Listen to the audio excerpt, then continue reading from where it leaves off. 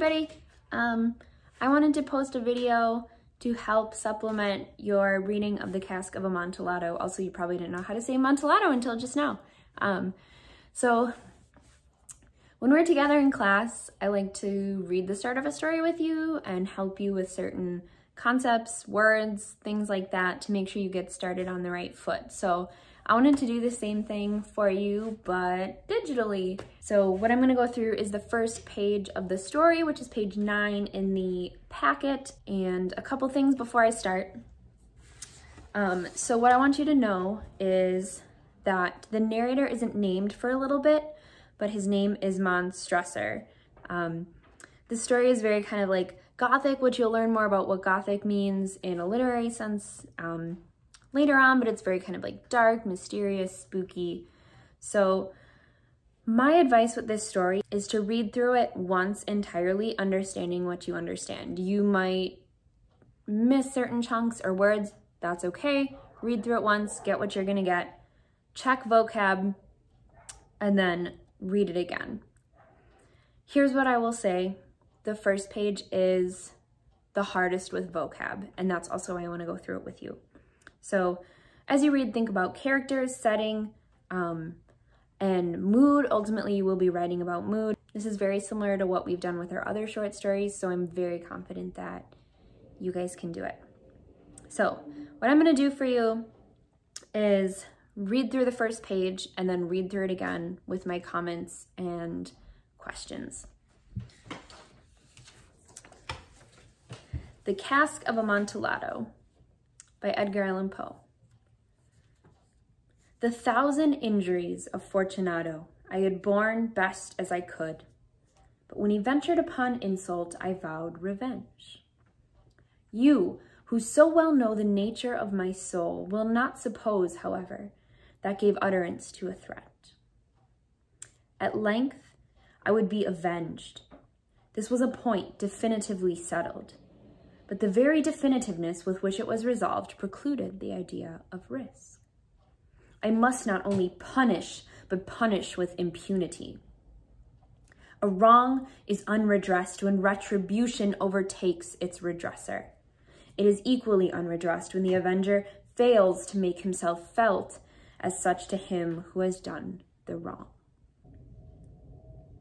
It must be understood that neither by word nor deed had I given Fortunato cause to doubt my goodwill. I continued, as was my, and to smile in his face, and he did not perceive that my smile now was at the thought of his immolation. He had a weak point, this Fortunato, although in other regards he was a man to be respected and even feared. He prided himself on his connoisseurship in wine, Few Italians have the true virtuoso spirit.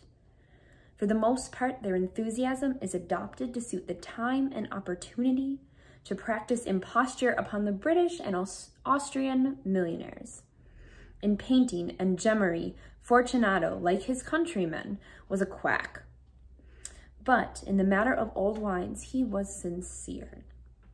In this respect, I did not differ from him materially. I was skillful in the Italian vintages myself and bought largely whenever I could.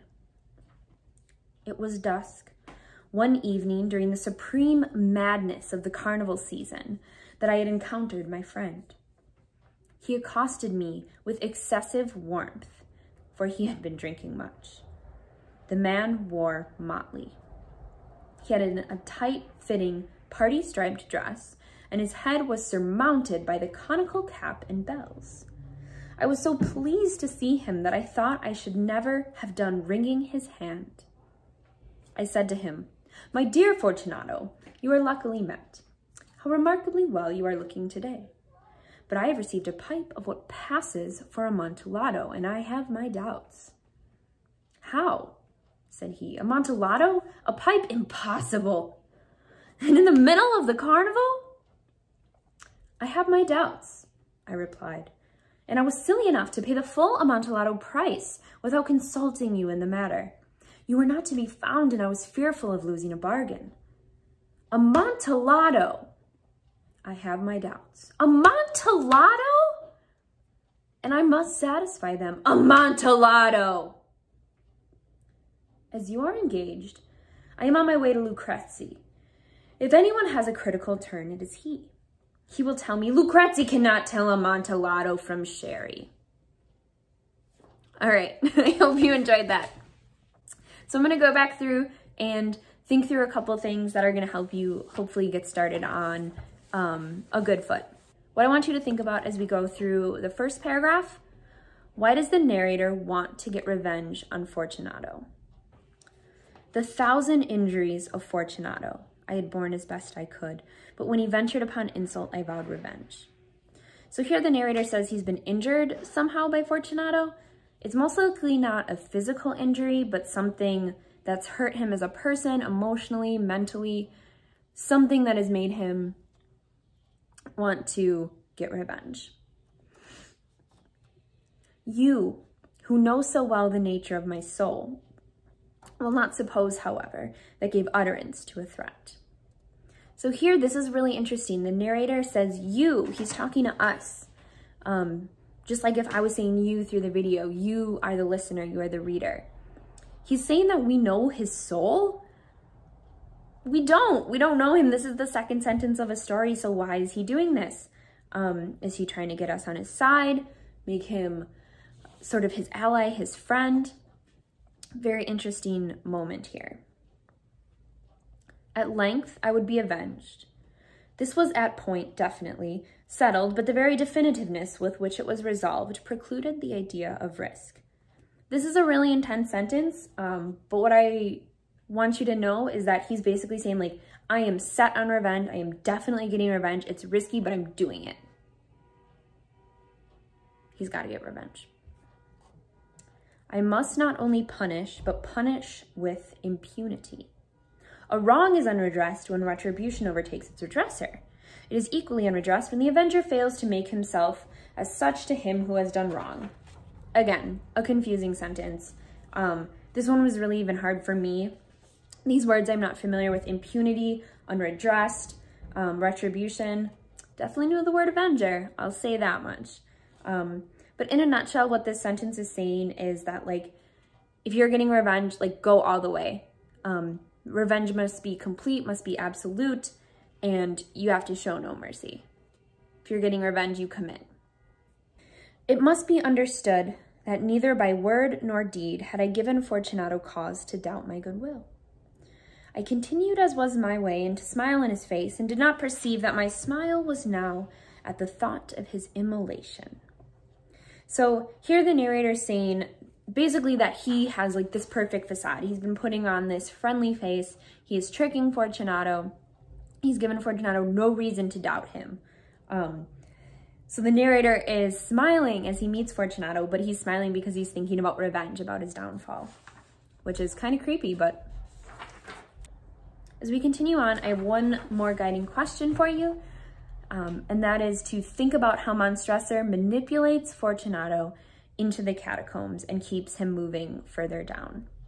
Remember, catacombs are the sort of underground graveyard. It's very creepy. Um, there's a link to a picture in the vocab sheet.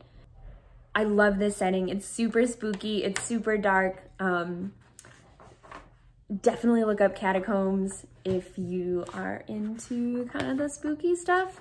Um, side note, there's a great movie that takes place in the Paris catacombs. It's called As Above, So Below. If you like horror movies, watch it over the break. It's very good. He had a weak point, this Fortunato although in other regards he was a man to be respected and even feared.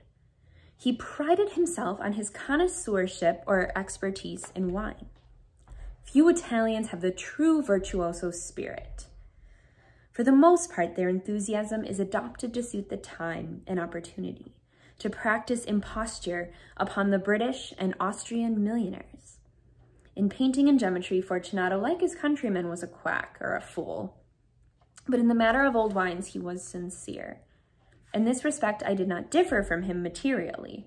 I was skillful in the Italian vintages myself and bought largely whenever I could. Here the narrator gives us some information about Fortunato. He's an expert in wines. Um, he knows all about different types of wine, Italian vintages, that's just a way of saying Italian wines. We know the narrator wants revenge, so it's likely he's going to use Fortunato's love of wines to his advantage. It was about dusk one evening during the supreme madness of the carnival season that I encountered my friend. Weird that he calls him his friend. He's about to get revenge on him. Just a side note. He accosted me with excessive warmth, for he had been drinking much. The man wore motley. He had on tight-fitting, party-striped dress, and his head was surmounted by a conical cap and bells. I was so pleased to see him that I thought I should never have done wringing his hand. So we get more about the setting. There's a carnival, a festival. Um, Fortunato's had a little too much to drink. He's very friendly and is wearing this crazy jester outfit. So he's kind of like a fool right now, which is great for the narrator. So the narrator can take advantage of him basically to enact his revenge. Um, and the narrator's so happy to meet Fortunato. He's just shaking his hand just obsessively. He's so happy he's finally going to get revenge. Fortunato doesn't suspect a thing. I said to him, My dear Fortunato, you are luckily met. How remarkably well you are looking today, but I have received a pipe of what passes for Amontillado, and I have my doubts. How, said he, Amontillado? A pipe? Impossible. And in the middle of the carnival? So I'm going to stop here. The rest of the page sort of shows the narrator tricking Fortunato into the catacombs. So coming back to our guiding question, um, we see that Amontillado is a nice type of wine. Fortunato really likes wine. So the narrator is going to use this to kind of lure him in and trap him. Um, it's sort of like telling me, hey, I've got a bunch of kittens, come see these kittens. And I'm like, yes, please, I will follow you anywhere you have kittens. Um, so uh, the narrator here is going to manipulate Fortunato using his love of this wine, Amontillado. Um, there we get the title of the story as well. Good luck reading. Um, let me know if you have questions. If students seem to be struggling, I will post more updates and perhaps examples in the chart. Good luck. I really like this story. I hope you like it too. Um, please keep an eye out on Google Classroom too. I will be uploading a graphic novel version of this, uh, which is kind of fun if you like graphic novels. Check it out. I hope I get to talk to you guys soon. I miss you and have a good week.